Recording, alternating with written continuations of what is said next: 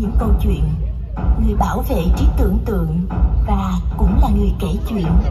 Hàng thế kỷ đã trôi qua với biết bao câu chuyện được lưu giữ và kể lại. Đêm nay, tôi sẽ kể các bạn nghe một câu chuyện hấp dẫn nhất trong tất cả các câu chuyện. Song câu chuyện này cần người viết tiếp hồi kết cuốn sách này là một bản anh hùng ca đã được lưu truyền qua nhiều thế hệ, nhưng chương cuối của cuốn sách không có gì ngoài những trang giấy trắng. Bởi lẽ, câu chuyện chưa bao giờ kết thúc. Nó đã chờ đợi hàng thế kỷ, chờ đợi một ai đó viết nên hồi kết bằng sức mạnh từ trí tưởng tượng bay bổng của họ.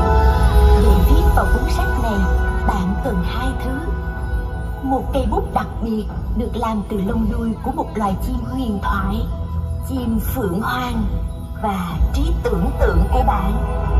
Cuốn sách đã chờ đợi ở đây từ rất lâu rồi. Chờ đợi một người trong số các bạn.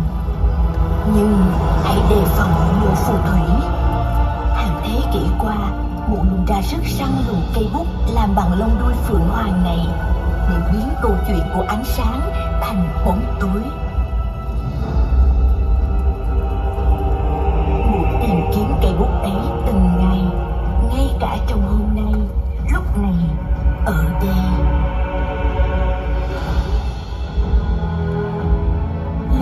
Nào người hùng ấy sẽ đến đây?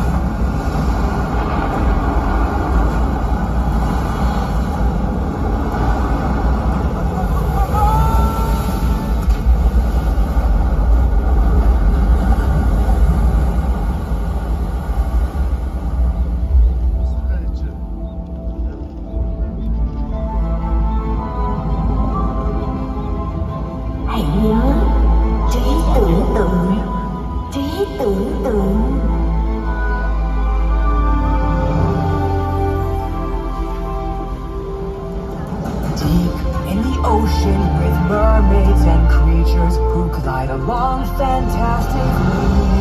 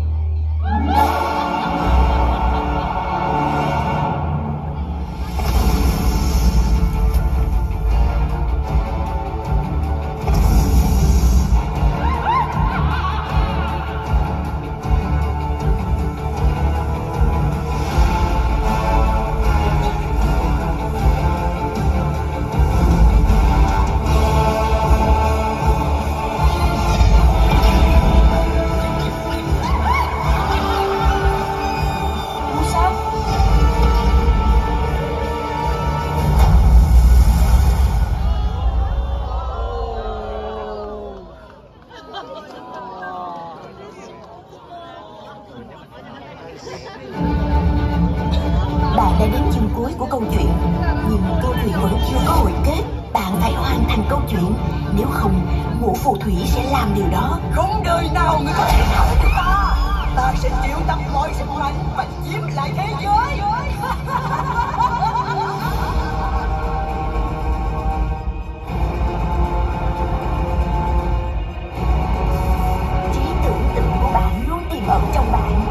谁有吗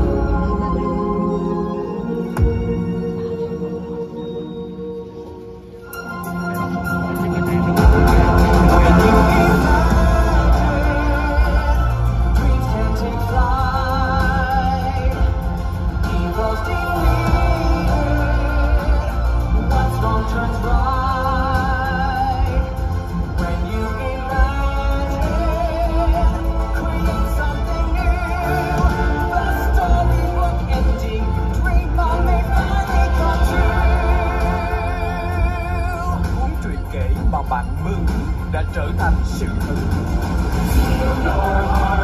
start to race, we love as the time love.